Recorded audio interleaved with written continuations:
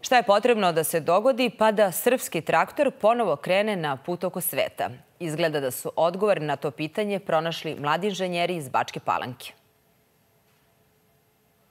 Ovaj traktor, namenjen malim i srednjim gazdinstvima, ima 90 konskih snaga i napravljen je od preko 800 komponenti proizvedenih u Srbiji. Pošto je poslednja proizvodnja domaća traktora u Srbiji ugašena, ima više od, od 15 godina i možda i više, zanoviti taj sistem i opet uvezati zapravo znači imati hrabrost. Mi smo je skupili i zaista pokazali da možemo da uvežemo više od 40 domaćih preduzeća i kooperanata. Ovde u Bačkoj Palanci u Majevici se radi finalna proizvodnja i dakle e, svi koji su uvezani u lanac proizvodnje su dodatno ovaj osposobljeni i ohrabreni da zaposle nove ljude i samim tim da uvoznu o, o zavisnost po pitanju proizvodnja traktora u Srbiji smanjimo i eto to je naš krajnji cilj.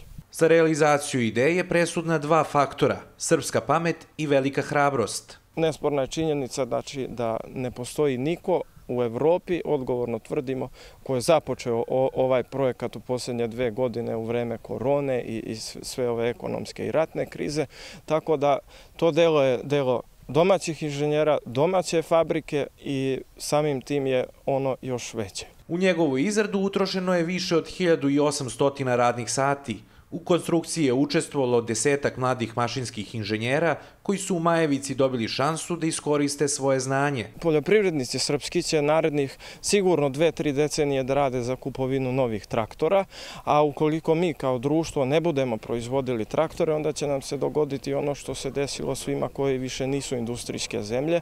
Nećemo imati proizvodnju, već ćemo samo uvoziti i iznositi novac iz države, što svakako nije dobro i onda ćemo da imamo e, i probleme probleme i sa postservisnom, postprodajnom podrškom i sa svim.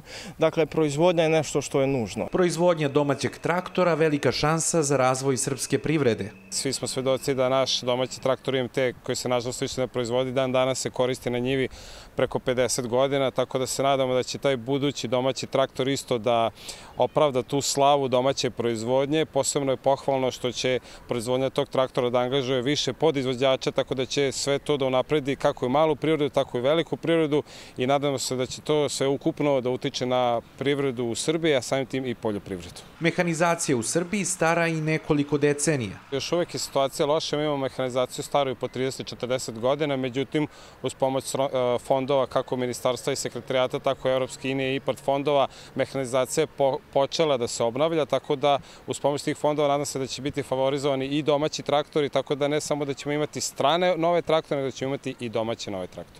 Da bi proizvodnju domaćih traktora podigli na viši nivo, potrebna je, kažu, podrška države. Trenutno interes je mnogo veći za ovim mašinama da se uvoze i da se s njima trguje nego da se proizvodi. Jednostavnom promjenom te politike gde finalna proizvodnja je u fokusu, ništa drugo osim nje, mi ćemo stvoriti mnogo više radnih mesta nego što sad imamo i naravno otvorit ćemo daleko veći broj tržišta u inostranstvu. Na svoje proizvode daju garanciju i do pet godina a za srpske poljoprivrednike imaju i posebne uslove kupovine. Mi smo napravili plan i program da svako poljoprivredno gazdinstvo e, koji ima želju da uzme novi traktor, e, da kupovinom traktora obezbedi se i sa novom mehanizacijom. To će biti neki paket od 5 do 7 priključnih mašina sa rokom od 5 do 7 godina i poljoprivrednici se moći to da plaćaju da li preko kredita, da li preko robne razmene, što smo mi radili ove žitarice ili naravno preko gotovine kako im odgovara. Kompanija Majevica posluje 117 godina, a poljoprivrednu mehanizaciju izvoze u više od 40 zemalja sveta